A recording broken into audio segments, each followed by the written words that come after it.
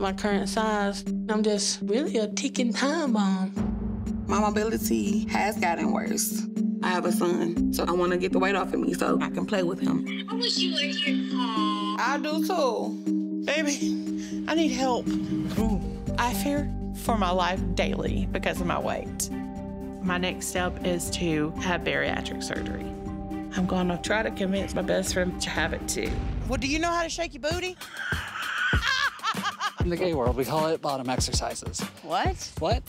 I got my food ass. I got my food ass. That's a fat girl's dream right there. Hashtag real fat girl. That one keeps me from killing you, and this one keeps you from killing me. The dietitian told me to cut out the carbs and the greasy food. It's gonna be hard because that's all my mother cooks is carbs and greasy food. My weight's out of control. Look, workout for the day's done.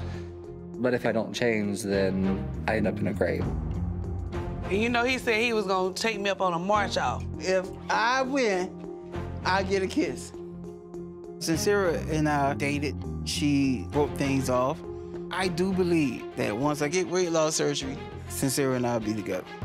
You're one twisted ankle away from becoming immobile the rest of your life. I want to know what it's like to be married and be able to walk down the aisle. You cannot pawn this off on anybody else. This is whether you want to live or you want to die. Come on, Jazz. I need you to do this. I'm tired. I'm running out of breath. My legs hurt. I can't. I need you to do this.